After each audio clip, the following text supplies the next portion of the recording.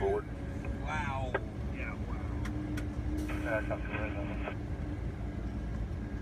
We had no notice. Um, the, the first notice of, uh, that we needed to, to leave was the fire. On our phone, we got alerts the next day saying that we needed to evacuate this area. I, I believe we should have been evacuated the days before. I, I think that was necessary um, with the amount of fuel and the, the temperatures here and the dry conditions. Um, it was just too risky.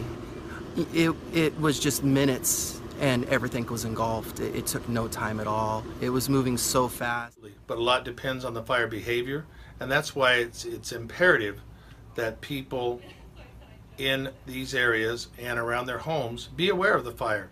And again, if they feel the need, please don't wait for an evacuation notice. Get out when it's reasonably um, calm and easy. Oh, I would way rather evacuate days and stay in a motel than to literally be running for my life. By six o'clock, the fact that anybody was out there, uh, it's just not fair, and uh, it shouldn't have been the case because, you know, by 7:30, everything was in extreme danger, and you know, eight o'clock it was already done. 50 foot flame taken out the neighborhood next door was my evacuation notice. You know, I always got my phone on, and uh, yeah, my phone never went off.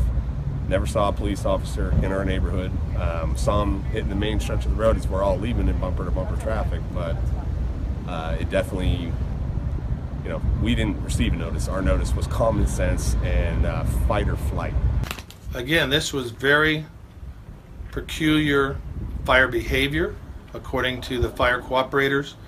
Uh, this was a very fast moving fire, and in some instances, with the being driven by the wind that the fire generates in itself, plus weather conditions, you could have the fire jumping out ahead of miles. We were doing the absolutely best that we could with the amount of personnel to get out into these neighborhoods, but sometimes that fire gave people only minutes to get out. The roads were extremely congested, with two lane roads being basically two lanes of one way traffic of people trying to get out. I know that there were evacuation notices being given in some of those areas, either by PA or by um, going door to door. Well, we were uh, watching television about the fire. That's it was on 24 hours a day. We were sitting there watching it, and here comes a knock on the door. A police. I look out there, and there's a police car going. Start red light, sirens. Says you have to get out. You have to get out now.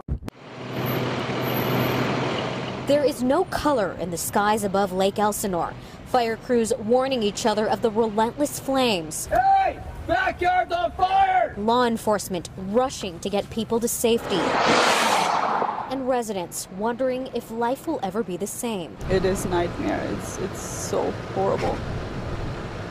I just be over. Annie Sperling moved from San Diego County to the McVicker Park neighborhood in Riverside County eight years ago.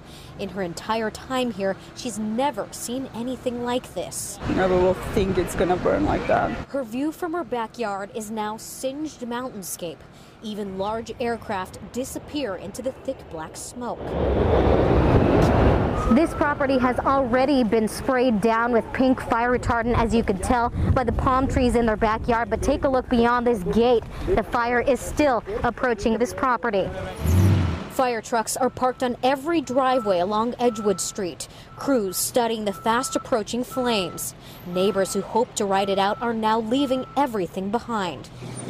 Sperling's eyes start to water. It's the emotions, the fatigue. Wind, smoke, everything together. Four devastating days of watching and praying. She hopes it ends soon. There's no place to go for me, but you know, we'll figure something out. Good afternoon from CBS 2 and KCAL 9. We have breaking news in the Holy Fire. This is this fire that's burning out of control in Orange and Riverside County. Uh, Lake Elsinore, some of the neighborhoods there under immediate threat right now. We want to go live to our Nicole Comstock. She's standing by. And Nicole, I know you're in this neighborhood, McVicker Canyon, where the, the flames are just getting dangerously close to some of the homes. Yeah, it really flared up out here in Lake Elsinore in the McVicker Canyon Park neighborhood just about maybe uh, 30 minutes ago, 40 minutes ago now. And if you take a look behind us here, you can see the flames from the holy fire that are just ripping up that hillside there. And this is nothing compared to what it looked like out here, like I said, about 40 minutes ago when flames were much closer to these homes, really right up on uh, the backyards of these houses. And you can see the flames shooting up all the way past uh, two story homes out here, which, by the way, at that point still had at least one neighbor out here standing on top of his roof just down the street over there by, I believe it is Edgewood Court, hosing off his shingles on the roof with the flames shooting up right in his face, still trying as best as he could to protect his home. Now, from what we saw right before we left, just around the corner there, it seemed like the flames still did stop at the fire retardant line that was put down there yesterday. But for a moment, it looked just crazy there, like an inferno burning in between all of these houses right behind them. Um, it was really because the flames were deep down in the canyon and coming uphill. So they were extremely tall and sending off a lot of thick black smoke. So the neighbors that eventually moved back into the neighborhood yesterday to kind of keep an eye out on the fire and see what was going on, Uh, they started running away from their homes again because they didn't expect it to come at them that quickly, guys.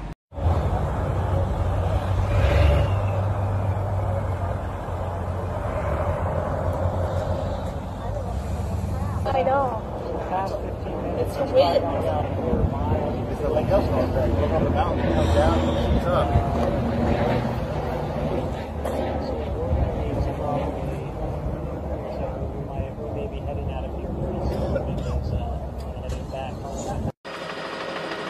Exploding in the mountains, it's not just the size of the holy fire that worries firefighters. The speed and strength of these flames are the biggest threat. With new evacuations ordered, the inferno is just uphill from subdivisions in Riverside County. This, police say, the work of an arsonist. Investigators say this man, Forrest Clark, ignited the blaze. Just before his arrest, he spoke to a photographer. Do you know how this fire started? No idea. I was asleep. I had two earplugs in. With a dozen large fires burning in California, the U.S. Forest Service says 90% of wildfires are human caused. In Redding, where 2,000 structures are destroyed, another firefighter, the seventh this year, was killed on duty. Afternoon winds have been fanning flames all day long. They're pushing small embers up to two miles away. That's igniting brand new fires. With fires on pace to burn more land than ever before, toxic smoke is choking much of the state. The dangerous air also blinding the air attack. Where for now, this is the best way to slow an unstoppable force. Firefighters say there is so much fuel from this blaze, it'll likely burn for weeks, if not months.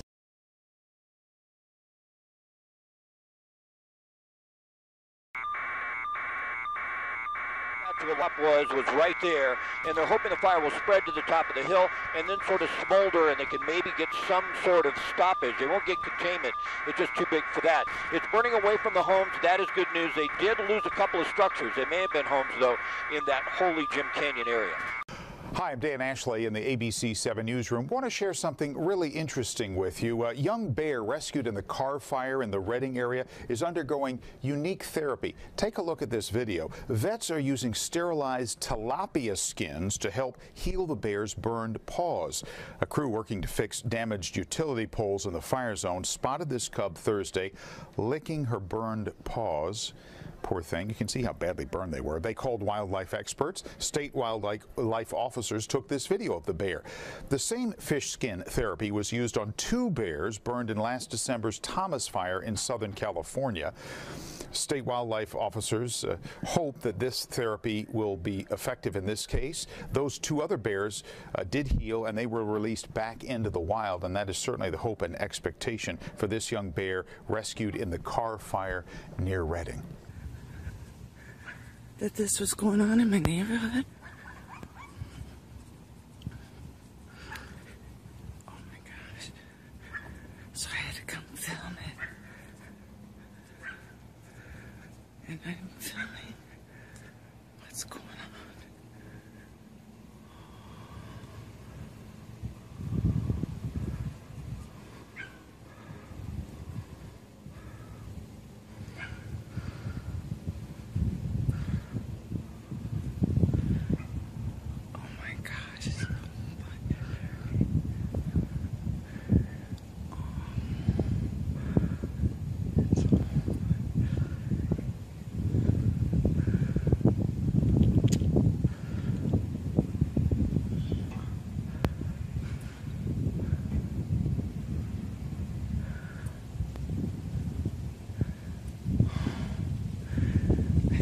displaced because of the fire. They're in my neighbor's yard, under the tree. Aw. It's okay, you guys. I shouldn't bother them. It's okay.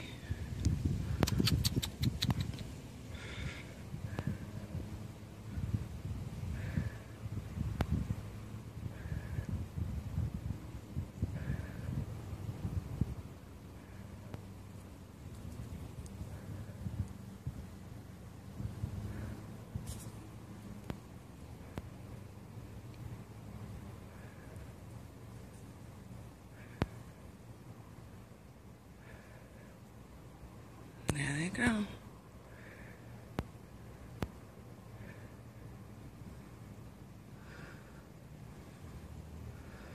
Yeah, you can see down to the end of the street. It's real smoky. There they go down the street. Yeah, we're not too far from the country. There's turkeys in the country.